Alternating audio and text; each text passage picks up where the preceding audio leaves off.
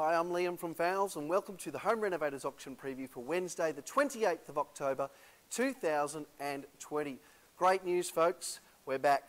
Uh, after uh, months of restrictions, uh, they've been lifted. We obviously do have to follow uh, several social distancing rules. Uh, we've got a, a check-in at the front door. We've got hand sanitizer everywhere.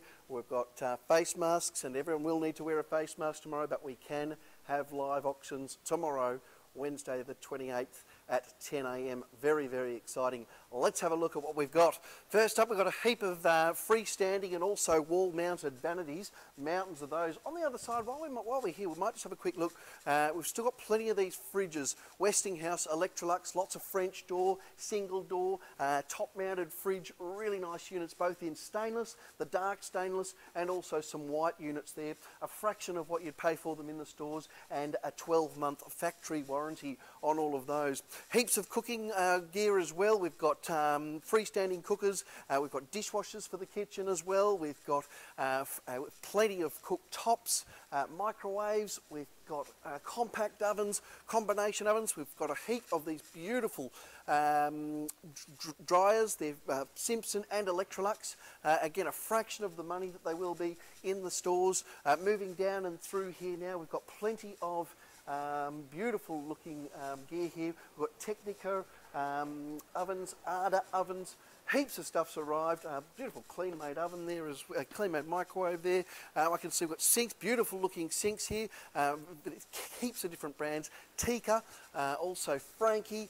Um, what's down the back here? I can see we've got some, some lowboy drawers there, showers. Uh, there's some catering gear as well. I might swing around here and we'll have a look through here. Um, loads of plantation shutters, a couple of hundred dollars a piece, uh, a couple of thousand dollars a piece in the shops.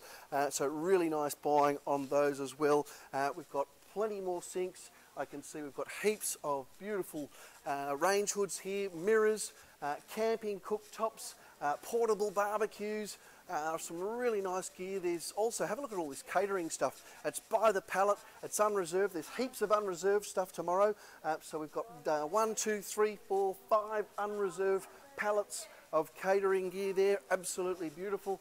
Uh, have a look at all the mirrors, folks. There's plenty of mirrors in as well. Loads and loads of mirrors. Uh, got toasters, kettles there as well. Um, I can see on the right hand side as well, we've got plenty of these uh, television sets uh, from 65 inch through to the small size, about uh, 32 inch I'd say on those.